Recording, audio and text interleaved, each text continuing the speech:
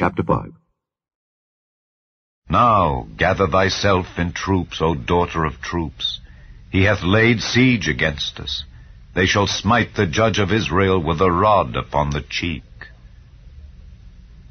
But thou, Bethlehem Ephratah, though thou be little among the thousands of Judah, yet out of thee shall he come forth unto me that is to be ruler in Israel, whose goings forth have been from of old, from everlasting. Therefore will he give them up until the time that she which travaileth hath brought forth. Then the remnant of his brethren shall return unto the children of Israel. And he shall stand and feed in the strength of the Lord, in the majesty of the name of the Lord his God, and they shall abide. For now shall he be great unto the ends of the earth.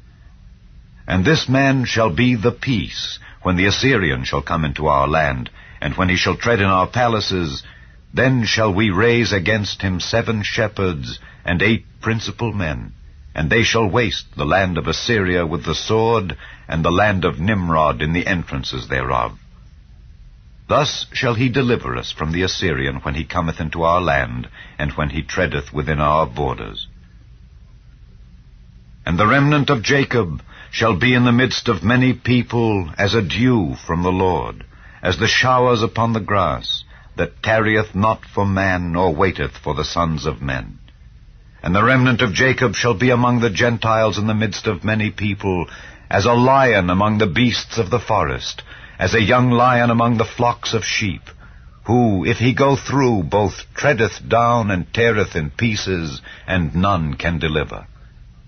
Thine hand shall be lifted up upon thine adversaries, and all thine enemies shall be cut off. And it shall come to pass in that day, saith the Lord, that I will cut off thy horses out of the midst of thee, and I will destroy thy chariots. And I will cut off the cities of thy land, and throw down all thy strongholds. And I will cut off witchcrafts out of thine hand, and thou shalt have no more soothsayers. Thy graven images also will I cut off, and thy standing images out of the midst of thee, and thou shalt no more worship the work of thine hands. And I will pluck up thy groves out of the midst of thee. So will I destroy thy cities. And I will execute vengeance in anger and fury upon the heathen, such as they have not heard.